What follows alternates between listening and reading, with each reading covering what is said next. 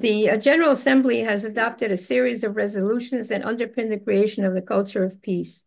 Just to mention a few, they are promoting understanding, harmony, and religious and cultural cooperation, uh, eliminating all forms of in, uh, religious intolerance, UN Millennium Declaration, the Global Agenda for Intercivilizational Dialogue, the Madrid Declaration, and so on and so on. The point is that none of these uh, declarations have ever been translated into actual law in any of the UN member states. Uh, regarding uh, the institution of um, uh, education for the culture of peace.